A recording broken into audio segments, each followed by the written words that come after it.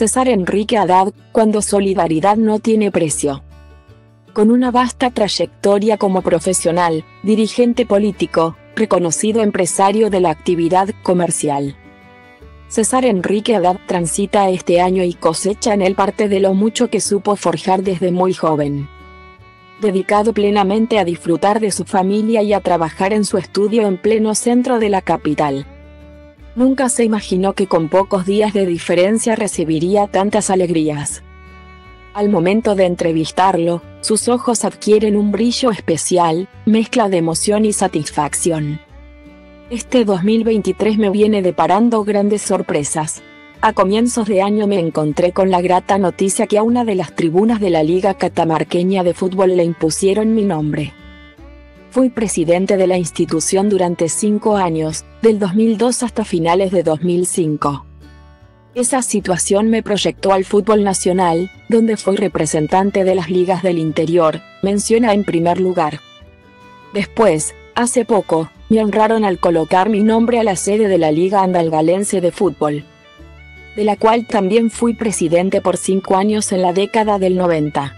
En aquella época hicimos una institución nueva. Por cuanto logramos hacer una sede más grande, construimos un albergue para alojar a 40 personas y varias otras obras. Más recuerdos andalgalenses. Precisamente al recordar los 56 años de la Liga Andalgalense recuerda que durante su presidencia logramos construir la sede gracias a un bingo gigante. Por aquellos años la Liga de Pomán estaba acéfala y la anexamos. Tuvimos 23 clubes participando. Una de las pocas con tanta cantidad de clubes. Logramos una gran unidad con todas las localidades de Pomán y Andalgalá. En ese bingo sorteamos 5 vehículos 0 kilómetros y dinero en efectivo. Logramos una gran recaudación. El 50% fue para la liga y el 50% para los clubes. Con esos fondos hicimos el albergue con camas y un muy buen equipamiento. Terminamos la sede y edificamos en la parte de arriba. En 1997 me trasladé a la capital donde instalé un negocio, un supermercado ubicado en la avenida Illa que compitió con los grandes del rubro, y ya me quedé definitivamente. El actual presidente José Luis Cativa, con apoyo del intendente de Andalgalá, está haciendo un gran trabajo y ahora la liga puede competir con sus clubes en los torneos de AFA.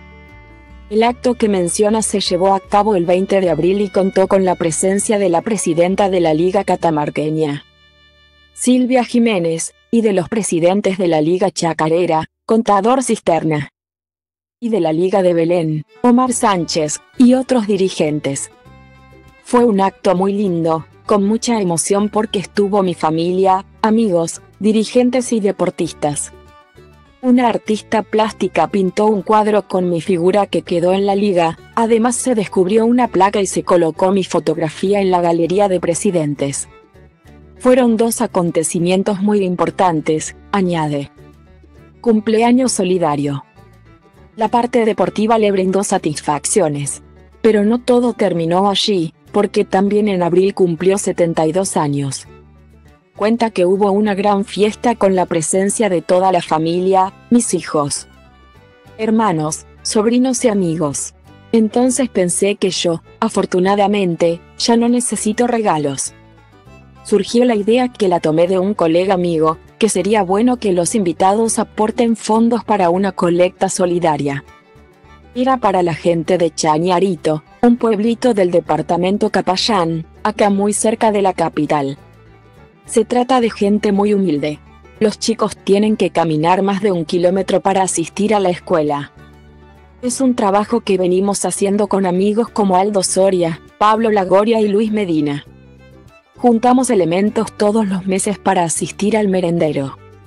Cuenta que hicimos una importante colecta, alrededor de 600 mil pesos.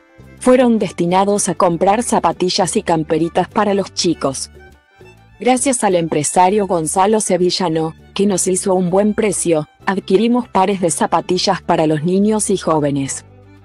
Además para las chicas que trabajan en el merendero. La entrega la hicimos la semana pasada junto a Aldo Soria, que es el precursor de esta iniciativa. Tomamos la merienda con los chicos, compartimos un mate cocido con pan casero y vivimos una jornada inolvidable. El interior olvidado. Detalló que en el pueblo hay unos 40 chicos. Hay varios con problemas. 20 van a la escuela secundaria que está en las esquinas. La primaria tiene 14 alumnos de diversas edades. Fueron todos a recibir la colaboración. Uno siempre busca el bienestar de la gente, porque en el interior hay mucha pobreza. No me gusta de hablar de los políticos, pero el secretario de la vivienda, Fidel Sáenz, nos está dando una gran mano. Construyó una ampliación a dos viviendas donde vivían más de seis personas en una sola pieza. Esto lo venimos haciendo desde el año pasado con este grupo de gente. Empezamos con Chañarito y la idea es poder seguir con otros pueblos. Por ejemplo, tenemos entendido que Educación le envió el dinero al municipio para el transporte de los chicos a la escuela. Pero estamos en mayo y no se hizo nada. Vamos a ver si nosotros no encargamos del asunto. Este grupo no tiene ninguna intención política. Tienen que entender que antes que los puentes, las rutas y las obras, primero está la gente. Hay que atender sus necesidades. Si no, nunca vamos a salir adelante. Nacido en Córdoba, pero desde muy pequeño radicado en Andalgalá, se siente un catamarqueño más. Estudió en esa ciudad y luego en la docta. Una vez recibido volvió a La Perla. Fue secretario de Hacienda de la Comuna, presidente de la Liga y también funcionario provincial, subsecretario de Hacienda. Padre de tres hijos, un varón y dos mujeres, es abuelo de seis nietos. Son los que me dan el empuje para seguir viviendo. La familia es lo más importante, destaca. Actualmente, alejado completamente de la política y la labor dirigencial por algunos problemas de salud. César Haddad no deja de pensar en el prójimo, porque entiende que la solidaridad no tiene precio y vale la pena devolver una parte de lo que recibió de la gente en estos 72 años. Redacción y producción, Andrés Rafael Bruno.